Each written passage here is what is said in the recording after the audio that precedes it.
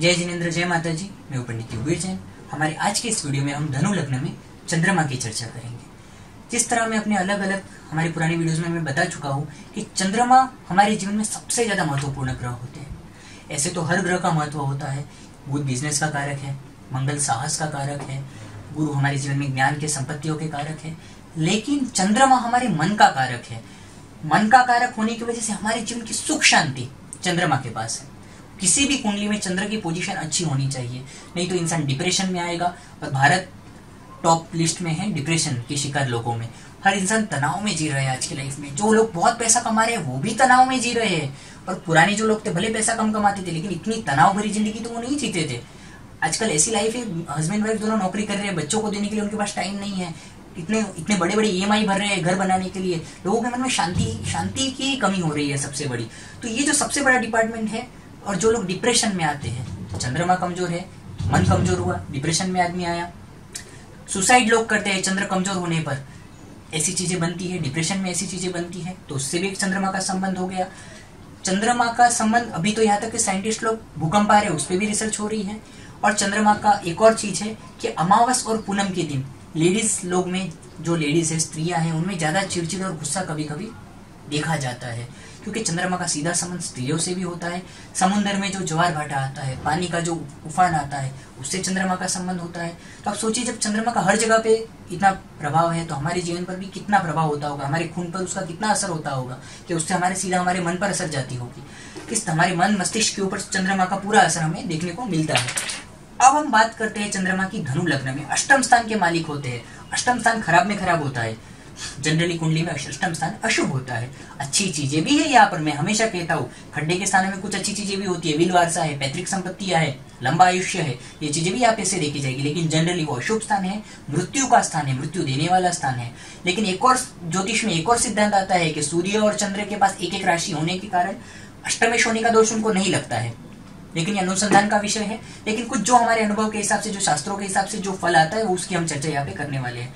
अष्टमेश चंद्रमा यहाँ पे अगर लग्न में होगा, पहले तो ये अपने मित्र गुरु के घर में होगा। चंद्रमा यहाँ पे अगर आएगा तो कल्पना शक्ति इंसान की बहुत अच्छी होगी, कल्पनाशील होगा, जहाँ तक दिखने में सुंदर होगा। लेकिन अष्टमेश होने के कारण यहाँ पे चित्त में चंचलता ज़्यादा दिखेगी चित्त में अस्थिरता ज़्यादा दिखेगी। और अगर ऐसा चंद्रमा पाप प्रभाव में आया तो वो मानसिक चिंता, शारीरिक कष्ट, ये सब संघर्ष बढ़ा देगा। इस तरीके से अष्टमेश होने के कारण कुछ हद तक वो नेगेटिविटियाँ भी लिए हुए यहाँ पे रहता है। इनकी एक दृष्टि सातवें घर पे पड़ेगी। इसके कारण ये होगा, जीवन साथी हमें अच्छा प्राप्त होगा। लेकिन सिर्फ़ ये, लेकिन ये यहाँ पे इतना खराब भी नहीं है, क्योंकि अपने मित्र के घर में बैठा है गुरु के घर में बैठा है। कल्पना शक्ति अच्छी होगी इमेजिनेशन पावर ज़बरदस्त होगा। लेकिन अष्टमेश है और यहाँ पे अगर पावरफुल हुआ तो वीर वारसे से संपत्ति प्राप्त कर पाएगा। अचानक आपको कोई लॉटरी लग सकती है। बाप दादा की संपत्ति, ससुराल से धन प्राप्त हो सकता है। अगर ये यहाँ पे अच्छे योग में है, अगर समझिए यहाँ पे गुरु के साथ आ गया, गुरु और चंद्र दोनों मिल गए तो यहाँ पे ऐसा अच्छा योग भी बन जाएगा। लेकिन यहाँ पे अकेला है, कृष्ण पक्ष का है, पीड़ित है, कमज़ोर है तो ये स्वभाव में चिड़चिड़ नेगेटिविटी चंचलता, अस्थिरता जैसे नेगेटिव रिज़ल्ट भी यहाँ पे देंगे। अब हम बात करते हैं चंद्रमा की दूसरे भाव में। चंद्रमा अगर यहाँ पे दूसरे भाव में आते अष्टमेशों के धन भाव में आए तो और शनि के घर में आए अपने शत्रु के घर में। तो यहाँ पे कुछ हद तक, देखिए, चंद्रमा यहाँ पे मुख स्थान में होगा, जातक का मुख सुंदर होगा। जातक की, लेकिन अष्टमेश होने के कारण कई बार जातक गुस्से में अपनी वाणी से काम बिगाड़ सकता है। ऐसे तो वाणी विनम्र होगी, सौम्य होगी सॉफ्ट होगी, लेकिन गुस्से में आएगा तो इंसान की वाणी कई बार नेगेटिविटी के कारण वो काम बिगाड़ सकता है, गलत जगह पे गलत बात बोलकर। अष्टमेश यहाँ पे आया अशुभ शत्रु क्षेत्री तो कई बार पैसे में जिस तरह जो बचत चाहिए बचत में कमी आएगी। पैसे की वृद्धि में जो बैंक बैलेंस आप जिस तरह बढ़ाना चाहते हैं, लेकिन उसमें भी अगर शनि का बल पावरफुल है, दूसरे योग मदद कर रहे हैं तो आपको इतनी तकलीफ़ नहीं दिखेगी। यानी यहाँ भी इतनी ज़्यादा चिंता की बात नहीं है, लेकिन कुछ हद तक छोटे मोटे कुटुंब से इशू फैमिली से छोटे मोटे इशू मतभेद यहाँ पे दिख सकते हैं। आठवें घर को खुद के स्थान को देखने के कारण आयुष्य में ज़रूर बढ़ोतरी करेंगे। उम्र में ज़रूर यहाँ पे बढ़ोतरी करेंगे। इस तरीके से यहाँ पे चंद्रमा का फल होगा। अब हम बात करते हैं चंद्रमा की तीसरे भाव में। चंद्रमा भी अगर कुंडली में बलवान हो तो आदमी डेयरी से है, गाय से है, ऐसे सब सफ़ेद चीज़ों के काम से चांदी के धंधे से इंपोर्ट एक्सपोर्ट के धंधे से ऐसे सब चीज़ों से इंसान बहुत पैसा कमा सकता है। अब अगर अष्टमेश यहाँ पे तीसरे भाव में आ जाते हैं तो यहाँ पे क्या होगा? वापिस शत्रु के घर में आए। छोटे भाई बहन से मतभेद टालने चाहिए। कई बार संबंध में कड़वाहट आ सकती है, मतभेद आ सकते हैं शत्रु क्षेत्र चंद्रमा के कारण। लेकिन ऐसा चंद्रमा तीसरे घर में जो बेटा है कलात्मकता की तरफ़ रुझान ज़रूर दे सकता है, इंसान का इंटरेस्ट ज़रूर बढ़ सकता है और कलात्मकता की तरफ़ वो किसी कुछ न कुछ चीज़ सीखने के लिए मेहनत कर सकता है। भाग्य स्थान की दृष्टि भी कुछ हद तक भाग्य को इंसान की ट्रैवलिंग में बढ़ोतरी कराएगी और ये भी छोटा ट्रैवलिंग का स्थान है। इसे आपकी छोटी मोटी यात्राएँ हैं। कई बार विदेश यात्रा के अगर दूसरे को बलवाने तो ये चंद्र की दृष्टि भी यहाँ पे मददगार साबित होगी। लेकिन ओवरऑल में यहाँ पे ये कुछ हद तक नेगेटिविटी लिए हुए रहेगा। कुछ हद तक आपको हार्डवर्क ज़्यादा करना पड़ेगा। ये पराक्रम का स्थान है, ये मेहनत का स्थान है। पराक्रम यानी मेहनत, पुरुषार्थ। और यहाँ पे शत्रु क्षेत्रीय अष्टमेश। तो यहाँ पे आपका हार्डवर्क बढ़ जाएगा। जो इजी गोइंग लाइफ लाइफ होती है उसकी जगह आपको थोड़ा हार्डवर्क करना पड़ेगा। छोटे मोटे संघर्ष ऑब्स्टिकल्स को सामना करके आपको आगे आना पड़ेगा। अब हम बात करते हैं चौथे घर में, चंद्रमा की। अगर यहाँ पे चंद्रमा आ जाते हैं, अपने कारक स्थान में आते हैं तो यहाँ पे एक तो उनको कारक स्थान की वजह से बल बढ़ जाता है। मकान वाहन की योग यहाँ पे बनाते हैं और अपने मित्र के घर में बैठे हैं। लेकिन अष्टमेश है। और अगर यहाँ पे दूसरे किसी पाप ग्रह से पीड़ित हुए तो ज़रूर यहाँ पे कुछ नेगेटिविटियाँ बढ़ा देंगे। वरना ओवरऑल में यहाँ के चंद्रमा अच्छे हैं, दसम स्थान में, व्यापार स्थान में दृष्टि कर रहे हैं, अच्छे काम करेगा इंसान गवर्नमेंट से फ़ायदा, पिता से फ़ायदा उठा पाएगा। लेकिन अगर ये जरा भी पाप प्रभाव में आते हैं तो इसकी नेगेटिविटी ज़्यादा खराब, ज़्यादा बढ़ जाएगी क्योंकि अष्टमेश है। और हार्डवर्क से, जैसा कि अष्टमेश है तो हार्डवर्क से इंसान अपना मकान वाहन बना पाएगा। माता का सुख अच्छा देगा यहाँ का चंद्रमा। लेकिन छोटे मोटे माता से मतभेद भी हो सकते हैं, क्योंकि अष्टमेश कलह कारक होता है। प्यार भी रहेगा, लेकिन छोटे मोटे मतभेद भी यहाँ पे, चिंता भी यहाँ पे आ सकती है। इसके अलावा अगर हम बात करें चंद्र की पंचम भाव में, अगर चंद्रमा पंचम भाव में यहाँ पे आता है तो एक तो अष्टमेशों के पंचम भाव में आए, अपने मित्र मंगल के घर में आए। यहाँ का चंद्रमा यहाँ पर अगर आता है, अगर बलवान है शुभ दृष्ट है ये अचानक वीलवार से योग बना सकता है, अचानक कोई लॉटरी लगना है, अचानक कोई संपत्ति मिलना है। जैसे कोई इंसान कोई रियलिटी शो में गया, लाखों रुपए जीत के आ गया, कौन बनेगा करोड़पति में गया, करोड़ रुपया जीत के आ गया, लाखों रुपए जीत के आ गया। एग्ज़ाम्पल इस तरीके से ऐसा चंद्रमा यहाँ पे, उसको अचानक लाभ के योग तो बनाएगा। लेकिन अष्टमेश होकर यहाँ पे पंचम स्थान में छोटे मोटे संतान के संबंधी मतभेद और छोटी मोटी चिंता भी इंसान को दे सकता है। उसमें भी अगर ये पाप प्रभाव में आया तो ये चीज़ें कुछ हद तक संतान के संबंधी चिंता और पेट के संबंधी हेल्थ के संबंधी इशू बढ़ सकते हैं। वरना ओवरऑल में यहाँ का चंद्र लाभ स्थान पे दृष्टि करके भी लाभ में भी बढ़ोतरी करेगा। अब हम बात करते हैं छठे घर में चंद्रमा की। यहाँ पे चंद्रमा उच्च के हो जाएँगे। वृषभ राशि में चंद्रमा उच्च के हो जाते हैं। तो यहाँ पे उच्च का जो चंद्र है, अष्टमेश होके छठे घर में उच्च का चंद्र हो गया।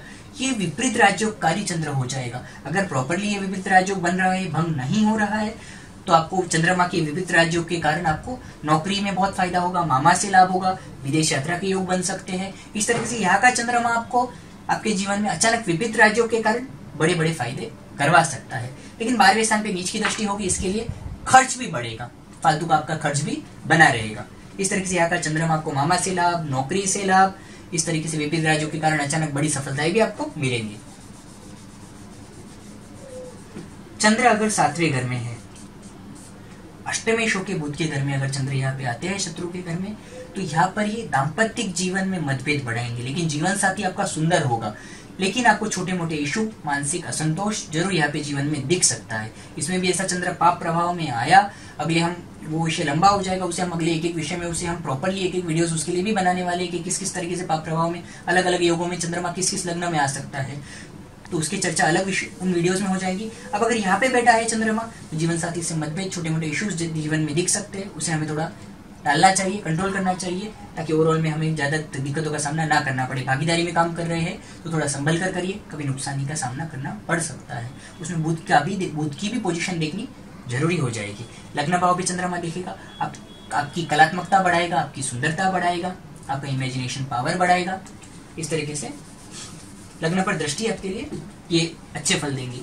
अब हम बात करें चंद्रमा के अष्टम स्थान में। तो यहाँ पे ये हो जाते हैं स्वग्रही। और आठवें घर में स्वग्रही होना अच्छी बात है। चंद्रमा को आठवें घर में अच्छा नहीं मानते किसी भी कुंडली में हम, क्योंकि आठवां घर मृत्यु का होता है और चंद्रमा मन है। तो वहाँ पे वो तनाव, थोड़ा तनाव लेने की वृत्ति हो जाती है। लेकिन स्वग्रही है, इसके लिए यहाँ पे फ़ायदे भी बहुत है इसके। आपको विलवारसा मिल सकता है, पत्नी का धन मिलेगा, आपको ससुराल से लाभ होगा, आपको ससुराल से मदद मिल सकती है ससुराल से आपको हिस्सा मिल सकता है। आपको इस तरीके से यहाँ का चंद्र अपने भी बाप दादा का कुछ विलवारसा है तो वो भी दिला सकता है। तो इस तरीके से यहाँ का चंद्रमा आपके लिए लंबे आयुष्य का भी कारक होगा। अगर चंद्र बलवान बेटा है तो अगर वो चंद्र कृष्ण पक्ष का शीन बेटा है तो आपका तनाव का लेवल बढ़ा देगा।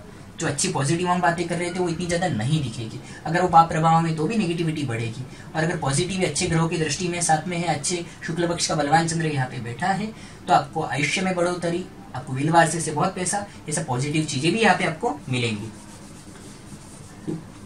अब बात करते हैं नवम स्थान के चंद्रमा की। भाग्य स्थान में अगर चंद्रमा आता है अष्टमेश के अपने मित्र सूर्य के घर में आया है। नवम स्थान का चंद्रमा आपको विदेश यात्रा की योग बना सकता है। लेकिन हार्डवर्क से, संघर्ष से आपको यात्रा हो सकती है। हार्डवर्क से आप अपना भाग्य बना पाएँगे। भाग्य में बनाने में भी ये मदद करेगा, लेकिन हार्डवर्क से। अष्टमेश है।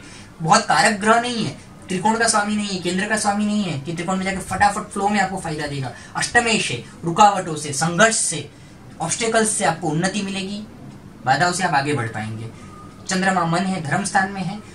तो आपको थोड़ा बहुत धार्मिक रोज अपने को दस मिनट सुबह है, रात को है अगर ज़्यादा टाइम नहीं है। अपने अपने जो भी आपके इष्ट देव है, भगवान इनके लिए निकालना चाहिए। ऐसे तो चंद्रमा के लिए जैन धर्म में चंद्र प्रभु स्वामी जी आते हैं, हिंदू धर्म में शंकर भगवान आते हैं, उनके जाप आप कर सकते हैं। इस तरीके से भी आपको अनेक दूसरी भी जो है, दान है, जप है, तप है, ये सब चीज़ें आप करके, चंद्रमा के उपाय करके, उनको बलवान करके आप और ज़्यादा फ़ायदे उठा सकते हैं जीवन में। छोटी मोटी यात्राओं के भी योग बनते रहेंगे, उन्नति होगी यहाँ पर। और यहाँ भी पैतृक संपत्ति, ससुराल से धन प्राप्ति के योग यहाँ पे भी चंद्रमा बनाते हैं। अब हम बात करते हैं चंद्र की दसम भाव में। चंद्रमा अगर दसम भाव में आते हैं तो अष्टमेश होकर दसवें घर में, शत्रु के घर में आए तो यहाँ पर ज़रूर ये व्यापार में दिक्कतों का सामना करवाएँगे, पिता से मतभेद आएँगे। चंद्रमा की दशांतर दशा में गलत डिसीज़न से पैसा फंस सकता है, व्यापार में आपकी चिंता बढ़ सकती है तो व्यापार में थोड़ा संभल कर काम करना चाहिए और दशांतर दशा देकर प्रॉपर डिसीज़न लेने चाहिए। तो इस जिससे अचानक होने वाली नुकसानी, अचानक होने वाले कोई बड़े संघर्ष से आप बच सके। सही सोच समझ कर फैसले लेने चाहिए। व्यापार में थोड़ी चिंता बढ़ाता है, इसमें यहाँ पे चंद्रमा के उपाय हमें करने चाहिए। चौथे स्थान पर दृष्टि पड़ती है, मकान मान का योग ये यहाँ पे ज़रूर बना देते हैं। माता का सुख बढ़ा देते हैं। छोटे मोटे पिता से मतभेद छोटी मोटी उनके संबंधी को चिंता आ सकती है। कई बार छोटे छोटे इशू होते हैं, जो कि हमारे लाइफ में होते हो कई बार ऐसे ग्रहों के कारण दिखते हैं। अगर बुध बलवान होगा तो वो योग और कमज़ोर हो जाएँगे। सिर्फ़ एक ग्रह से नहीं होगा, कोई भी भाव का फल आपको एक ग्रह से निर्धारित नहीं होता है। तीन चीज़ें देखी जाती है, भाव भावेश और कारक। हम जो जनरल बात कर रहे हैं, बाकी इसके अलावा इसके पीछे भी बैकअप में भी और भी बहुत कुछ दिखा जाता है। अब हम बात करते हैं चंद्रमा के ग्यारहवें घर में। चंद्रमा अगर ग्यारहवें घर में बैठे अष्टमेश होके अष्टमेश होके लाभ स्थान में गए तो भी व्हील वारसे से कभी लाभ हो सकता है। एल से बड़ा पैसा मिला, अब ऐसी कुछ चीज़ें भर रहे तो ऐसी चीज़ों में ध्यान दीजिए, पैसा भरिए अचानक ऐसी कोई गुप्त संपत्ति मिल गई, कोई व्हील वारसा अचानक आपको मिला तो ये सब चीज़ों में वो ज़रूर लाभ कराएँगे, लेकिन शत्रु शुक्र के घर में है। डिले से मिल सकता है हार्डवर्क से, मुश्किलों से ऑब्स्टिकल को पार करके इस तरीके से आपको ये लाभ यहाँ पे करवाएँगे। संतान भाव पे इनकी दृष्टि पड़ेगी, स्त्री संतान की संभावना, संतान से सुख, इन सब चीज़ों में बढ़ोतरी ही होगी। अब हम बात करते हैं बारहवें घर के चंद्रमा की। यहाँ पे ये हो जाते हैं नीच के। ये चीज़ खराब है, क्योंकि अष्टमेश का नीच का होना, एक तो आयुष्य के मालिक का नीच का होना थोड़ी आयुष्य में कमी लाता है। लेकिन फिर भी सिर्फ़ इतना सा देख के घबराने की जरा भी ज़रूरत नहीं है, क्योंकि इसका नीच भंग हो रहा है। चलित में क्या पोजीशन है? चलित में हो सकता है इसका भाव बदल रहा हो। हो सकता है कि नौमाइश में इसकी पोजीशन क्या है? इसकी नीचभंग राज्य इसके किसी प्रकार से नीचभंग तो नहीं हुआ है। ऐसी अनेक चीज़ें इसमें आपको देखनी पड़ेगी। इसको आपके बाहर गाँव से नुकसान, विदेश से कई बार आपको नुकसान हो सकता है हेल्थ के इश्यूज़ बढ़ सकते हैं, आपको पानी से घात बढ़ेगी। यहाँ पर ऐसा चंद्रमा बैठा है तो पानी से संभालना चाहिए और आपको नींद से संबंधी चिंता और मैरिज लाइफ में पति पत्नी का बेडरूम स्थान होता है बार बार कई बार पति पत्नी की जो भी मैरिज लाइफ है, उसमें भी ये चंद्रमा डिस्टर्ब करता है। लेकिन अगर उसका नीचभंग हुआ है, दूसरी चीज़ें हुई है तो ये सब चीज़ें कम हो जाएगी, लेकिन नीचभंग नहीं हुआ है तो इसका उपाय ज़रूर करें तो आपका तनाव बने, बढ़ेगा। कई बार मन में नेगेटिव विचार आते हैं, गलत विचार आते हैं, कई बार ऐसे लोग बोलते हैं, ज़िंदगी में क्या है? इससे तो मौत अच्छी है। कई बार ऐसे शब्द उनके मुँह में देखने को मिलते हैं। अगर लग्नेश बलवान नहीं है तो तो वो चीज़ें बढ़ जाती है। तो ऐसे में चंद्रमा के उपाय करने से आप उसकी नेगेटिविटी को ज़रूर कम कर पाएँगे। खाली एक योग देखकर घबराने की ज़रूरत नहीं है। ये हुई कर ये हुई धनु लग्न में बारह भाव में चंद्रमा की चर्चा, हमारे अगले वीडियोस में हम अगले ग्रहों की चर्चा करेंगे। हमारे कार्यालय से कुंडली दिखाने के लिए फ़ोन पर अपॉइंटमेंट बुक करके, हमारी फ़ीस ट्रांसफ़र करके आप अपनी कुंडली दिखा सकते हैं। पूरे भारत से फॉरिन से लोग दिखाते हैं। हमारे अगले वीडियोज़ में हम अगली चर्चाएँ करते हैं। धन्यवाद।